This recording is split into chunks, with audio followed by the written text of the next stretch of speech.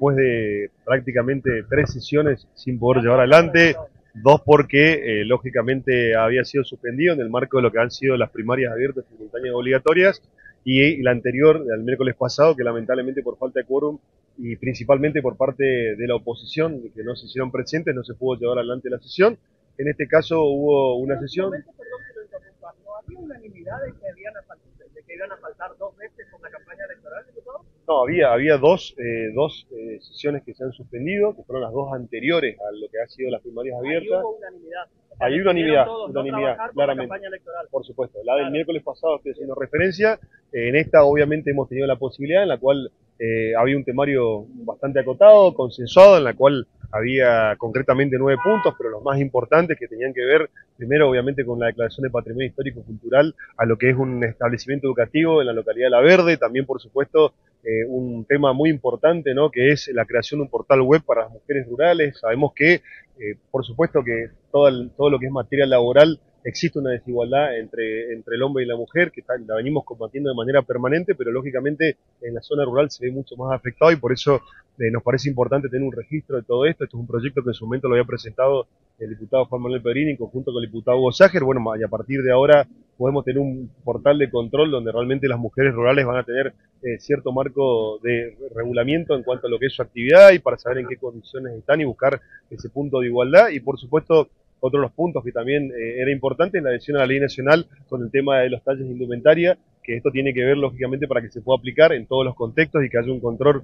y un marco regulatorio también a nivel provincial, aparte obviamente, lógicamente, no de algunas ratificaciones de decreto de aumentos salariales en lo que es el sector eh, público estatal, creo que fueron los temas eh, más importantes que hemos tocado en la sesión de ayer, temas consensuados, temas de que realmente uno entendía que, que, tenían que llevarse adelante para, para poder tener una sesión ordenada, pero bueno, obviamente hay un tema que permanente sale a la luz y que es el, lamentable tema que nosotros hemos vivido todos como sociedad y que estamos muy, eh, realmente muy acongojados con la situación y que nos, atraviesa a todos, independientemente del color político, de lo que viene pasando, en este caso tremendo de Cecilia, tremendo, porque es un caso que realmente nos conmueve y que, no sabemos realmente eh, de qué forma eh, tenemos que nosotros acompañar como sociedad, porque todos queremos apoyar, todos queremos aportar algo y tenemos que hacerlo de la mejor forma posible. Hoy acompañando a la madre, a la familia en ese terrible dolor y por supuesto... la declaración de una de sus que hoy es noticia a nivel nacional? Ah, creo que ha sido, honestamente, el discurso de la, eh, de la diputada ha sido un, discurso muy extenso, muy largo, eh, ha, sacado, ha sido sacado fuera de contexto, honestamente, no ha tenido en ningún momento, si uno escucha completamente... El... O sea, la culpa del periodismo. No, no, no dije que culpa del periodismo, al contrario. ¿Se sacó de contexto? No, se sacó de contexto la frase en la cual ella hace mención y la cual, si se equivocó, si uno escucha realmente todo el discurso, no tiene nada que ver con lo que ella dijo. En el registro no provocó ninguna reacción no, en absoluto. En absoluto porque no se la tomó de esa forma.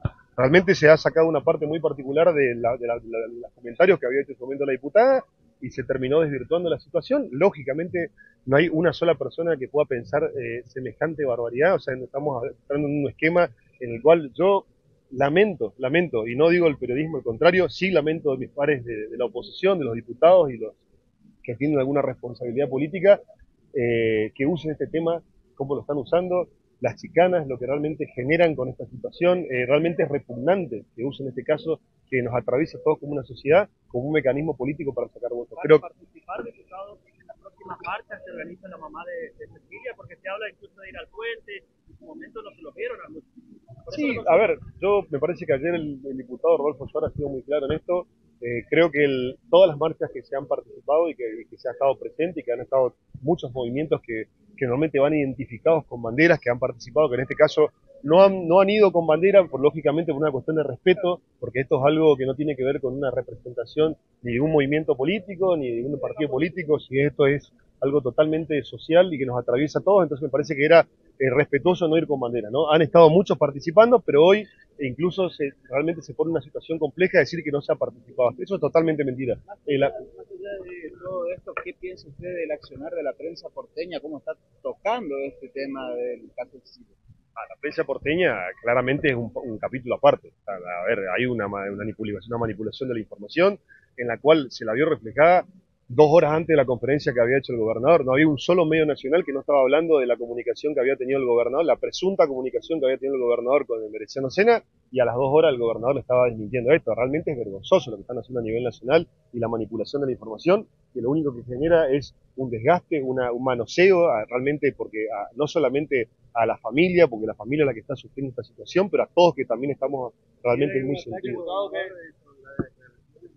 Por supuesto, no tengo ninguna duda que hay un ataque hacia el gobernador a nivel nacional. Creo que esto tiene que ver con una herramienta política que la están utilizando para, para, para desmerecer su imagen, para tratar de, involucrarlo permanentemente en algo que realmente es muy delicado y que nosotros, por supuesto, que repudiamos y repugnamos eso, porque es, algo repudiable, es algo que realmente no lo, nosotros no lo aceptamos de ninguna manera, pero también muchos miembros y muchos integrantes de la oposición política acá en nuestra provincia están haciendo exactamente lo mismo. Se están manejando con una situación, eh, una situación muy compleja y que la cual nosotros realmente eso también lo repudiamos. Eh, desde la oposición durante la semana presentaron un proyecto que el fiscal de Estado intervenga ¿no? en los bienes justamente de la Fundación del Movimiento de Merenciano, pero por otra parte también planteaban que hace dos años presentaron un proyecto que tiene que ver con el control sobre los movimientos sociales en cuanto al aporte estatal y que desde el oficialismo, del bloque del oficialismo, no querían acompañar este tipo de proyectos.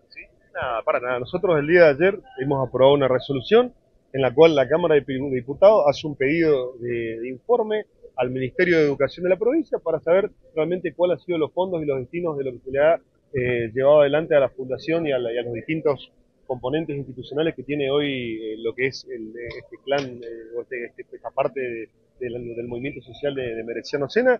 Queremos tener la mayor transparencia posible, lo ha dicho el gobernador, él ha sido el primero que ha ofrecido esto en, términos de la conferencia de prensa. Nosotros, por supuesto, que vamos a acompañar. Por acá no hay nada que ocultar, sino todo lo contrario, es darle, eh, transmitir claridad, transmitir contundencia. Esto hay que ser lo más prolijo posible porque sabemos que el momento es muy delicado y es muy sensible y en este sentido hay que ser muy cuidadoso con cada una de las cosas que se dicen. ¿no?